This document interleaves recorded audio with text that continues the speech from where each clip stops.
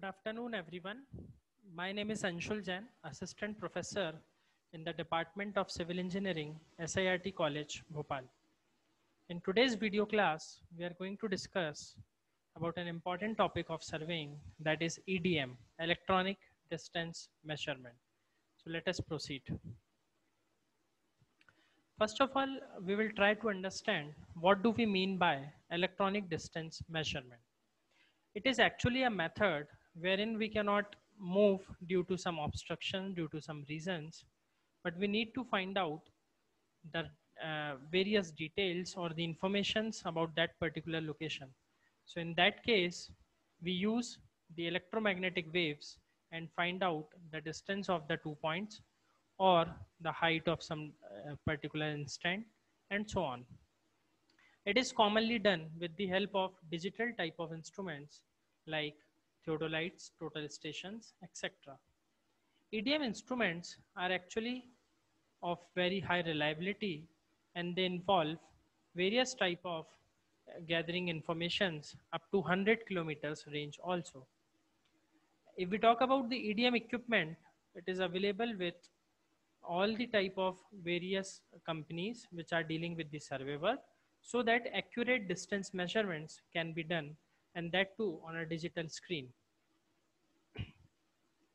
Now the device which is basically used nowadays is the total station which has all the similarities like theodolites and can measure the distance, horizontal or the vertical angles very easily without help of any other device. If we talk about theodolite, it is an instrument which measures both horizontal and vertical angles and the triangulation networks can be made possible with it.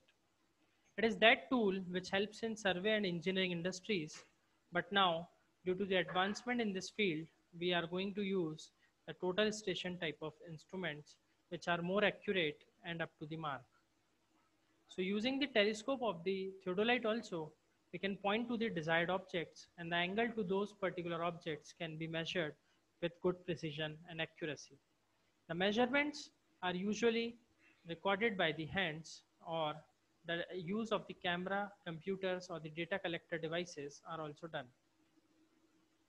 Now have a look at to the total station device. It comprises of various components used for the modern surveying work.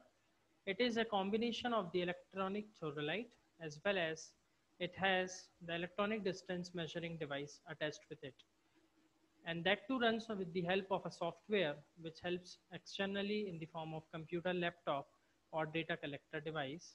So we can gather all the data we have collected in the entire day and then manipulations can be done very easily. Now let us try to understand how does this electronic distance measurement works. Electronic distance measurement that is edm is a way of finding the length between the two points by using the electronic energy waves. We transmit it from a device known as transmitter, and then those waves are again collected back to the collector device. In this way, a straight line is marked and we can find out the distance from one way to the other. But when the large variations are occurring in the terrain, the entire area, if there are some variations which are more than the normal variations, then various kind of obstructions are evolved and this method is not so effective.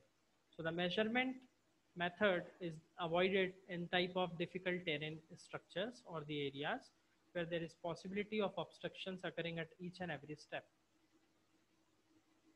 Now what, what are the various types of EDM instruments? So the answer is we have basically three basic types of instrument available with us. These are the microwave instruments, infrared wave instruments, and the visible light wave instruments. If we talk about the microwave instrument, it is also known as tellurometer, and these instruments use the microwaves. They have been used around 1950s. Other is the infrared wave instrument, which uses a prism reflector, which picks up the amplitude, and then the readings are taken. Last is the visible light wave instrument, which uses modulator light waves to measure up to a specific range.